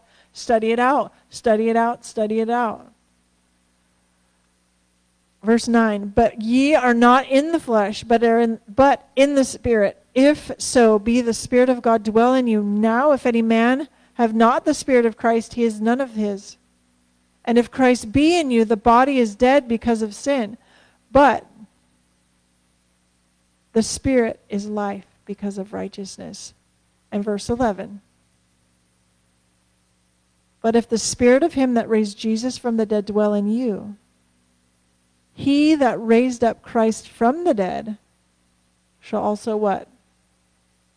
Quicken, bring to life, revitalize your mortal bodies by his Spirit that dwelleth in you. The Spirit of the living God dwelling in you, you'll be transformed and changed. Okay, now we're going to talk a little bit about forgiveness. Let's go to Psalm 32. Actually, um, the uh, verse of the day on the YouVersion was Psalm 32. Uh, somebody have their phone? Verse of the day? Bethany, you have YouVersion on your phone? What verse is it? Eight? It says, I will instruct thee and teach thee in the way which thou shalt go. I will guide thee with mine eye. But I want to read the whole chapter. I will instruct thee and teach thee in the way which thou shalt go. I will guide thee with mine eye. But verse 1, it says, Blessed is he whose transgression is forgiven. Have you ever been forgiven of something and it was just such a freedom in it? Anybody? You just you finally you had the talk and somebody finally you could you just know they forgave you and there was a freedom. So blessed, happy is though is he whose transgression is forgiven, whose sin is covered. Blessed or happy is the man unto whom the Lord imputeth not iniquity. You're not being charged with it, and in whose spirit there is no guile. When I kept silence, my bones waxed old through my roaring all the day long. We got to call out to the Lord. Ask Him. Ask Him. It says, For day and night thy hand was heavy upon me. My moisture is turned into drought of summer. There are times and seasons of life where we are dry. There's times in the seasons of life where our tears are, are bringing moisture. And then sometimes we just, we've cried so much, whether it's a, a physical crying or an inward crying out, that we become parched.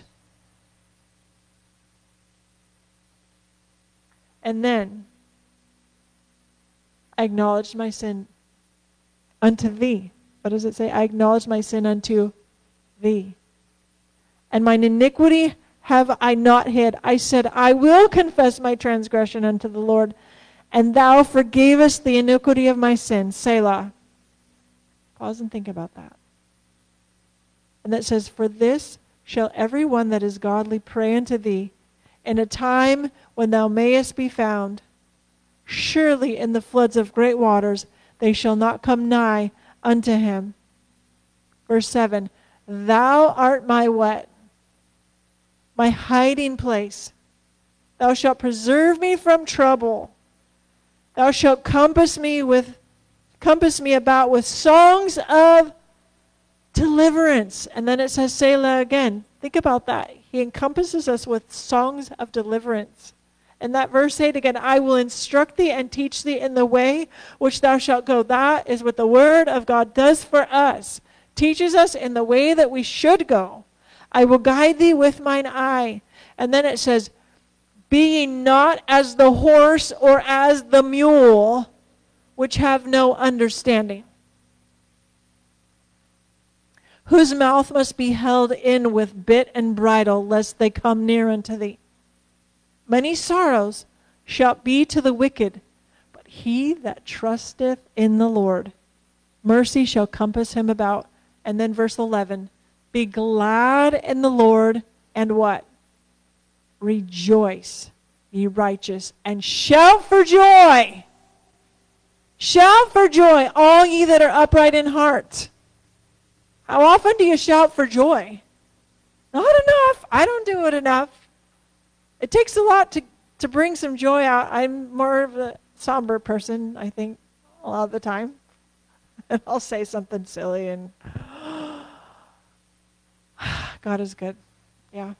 Okay, John 3. You must be born again. We're all born of the Spirit. I mean, not born of the Spirit. We're all born of flesh. We're born of the water. But we got to be born of the Spirit. Being born once and born again, you must be born again. If you want to be in the kingdom of God, you want to be strengthened, you want to have new life, you want to have a new focus, a new purpose. You can't do it your way. That's the bottom line. You can't do it your way. Okay, so I have my, my illustration. You guys see this picture here? Okay, let me see. I've got a light. Does it work? Okay, see this see these beams right here? You guys know I went to Florida not this last the week before. Hadn't been to the airport in a very long time. Okay, so this does anybody know what this is? This is the entrance into the parking garage. So on my way into the parking garage, you guys see the arrow right here? There's these little things that hang down. And if your vehicle is higher than that, it bangs on your vehicle or bangs on, in my case, I had a big box on top. So I actually I didn't know what the regulations were. I didn't know what the command was. I didn't know what the guideline was. So you know what I did? I proceeded right here through warning number 1. This warning number 1 was on I think chains that would move. I pulled in and I thought, you know what? I better stop and look because this right here was a metal frame. Guys see the metal frame right there?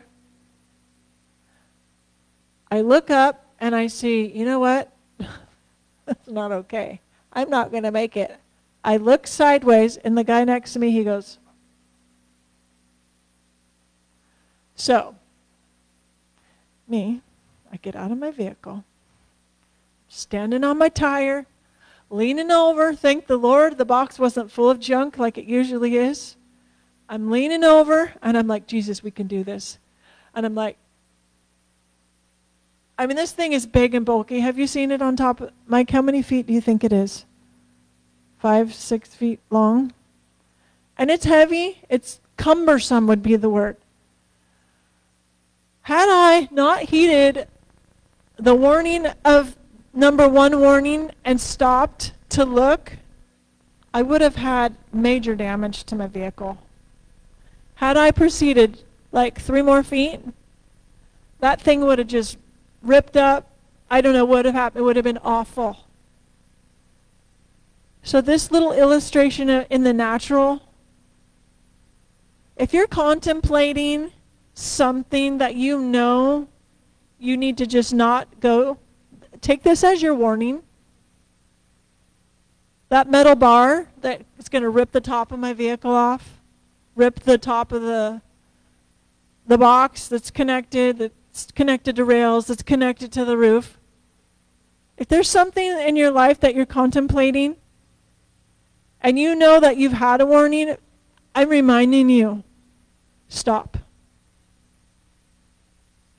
Do a what? Do a U turn. I thank the Lord that I wasn't foolish and just thought, oh, I could do it and just proceed.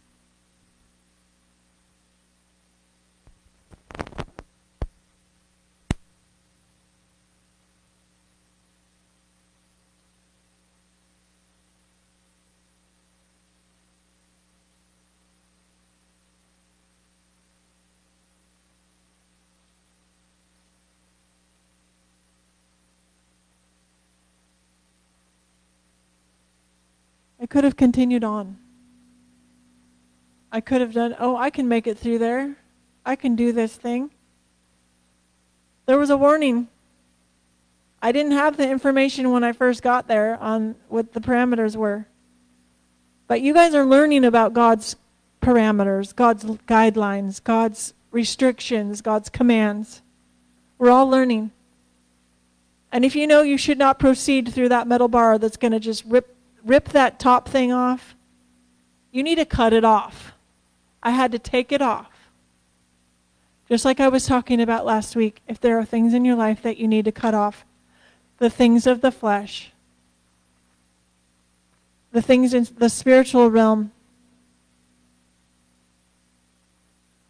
don't kiss the former. Don't go back to the old things. Don't go back to the life of sin. Accept the freedom that you have in Christ. So this again, this was the very beginning of my journey except, you know, the process of getting there. This was my entrance to the parking to go to the airplane. Had I not listened, my trip would have started much differently. So I'm just I'm telling you this day I don't know who this is for. I'll read it again in Romans 8 6. For to be carnally minded is death, but to be spiritually minded is life and peace.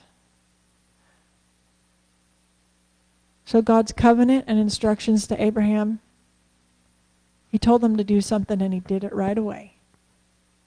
Jesus' words about the vine abiding in him, about loving, the Beatitudes about acknowledging your need for a Savior. Fighting not in the flesh, but the Spirit. Oh, I have a typo. Sorry, guys. I thought I switched it, but it apparently didn't. Freedom and forgiveness. There's freedom in forgiveness and new life. Got to be born of the Spirit. So I want to pray. If there's anybody here at the sound of my voice that knows the Lord spoke to them about something, about something they've been contemplating doing or not doing. God, I pray that they would take the warning, that they'd stop at the first at the first crossbar before they go and take that chance of well, I'm going to read this scripture. It says, just even in anger, you've heard that it was said of them old that Thou shalt not kill, and whosoever shall kill shall be in danger of judgment. But I say unto you that whosoever is angry with his brother without a cause shall be in danger of judgment, and whosoever shall, say to his brother, Raca, shall be in danger of the council.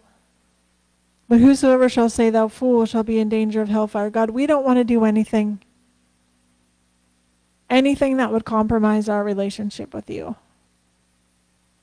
God, I pray this day that promises that you've given us, covenants that we've made with you, vows that we've taken before you, God, that we would remember them. That we would remember that there's life in you.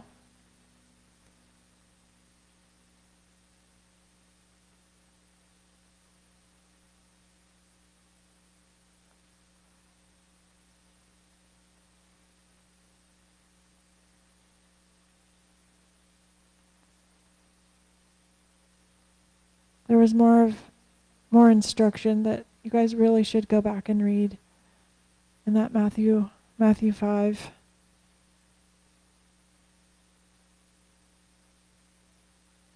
Verily I say unto you thou shalt by no means come out thence till you, thou hast paid that most farthing you have heard that it is said in old time time Thou shalt not commit adultery, but I say unto you that whoso looketh upon a woman to lust after her hath committed adultery with her already in his heart.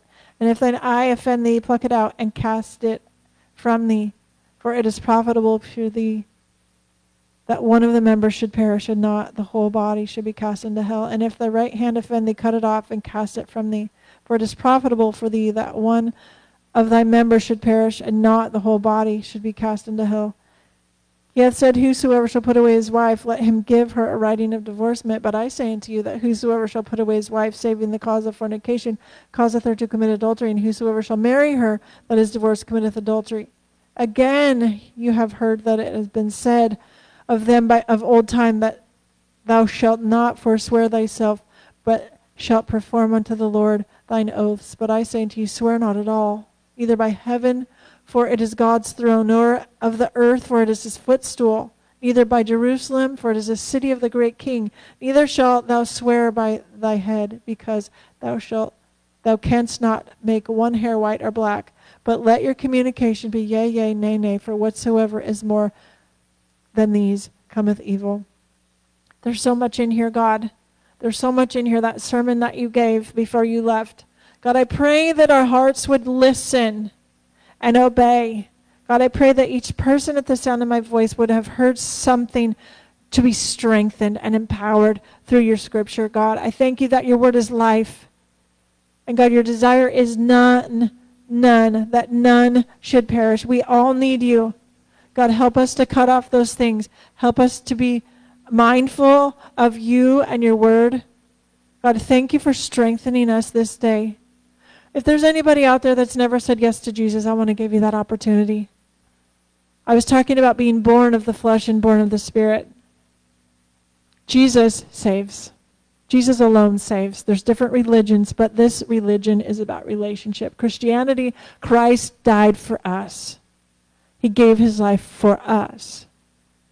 And it says, if you believe in your heart and you confess him as Lord, you'll be saved. And I want you to pray with me if you want him to be your Savior and you want to be strengthened by the Holy Spirit. Invite the Holy Spirit in. So just pray if you want this. Dear Jesus, I thank you for dying for me.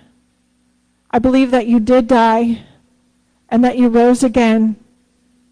And I want to be in your kingdom. Help me to love like you love. Help me to live like you live. Help me to die to self. Your word says, No greater love hath a man that a man lay down his life for his friends. Help me to be an example to cut off those things that shouldn't be, and to allow you to pour into me. Fill me up, God. Fill me up to overflowing. May I be a walking, living vessel for you. God, I want you. Holy Spirit, come in. Change and transform me. Thank you. In Jesus' name, amen.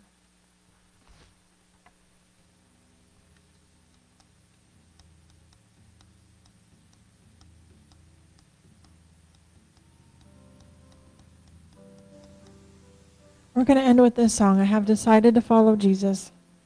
I have decided to follow Jesus. Have you decided to follow Jesus? There's a sacrifice in that. Following Jesus, it comes with a cost. You know what he wants from you? Everything. Everything. That's what he wants.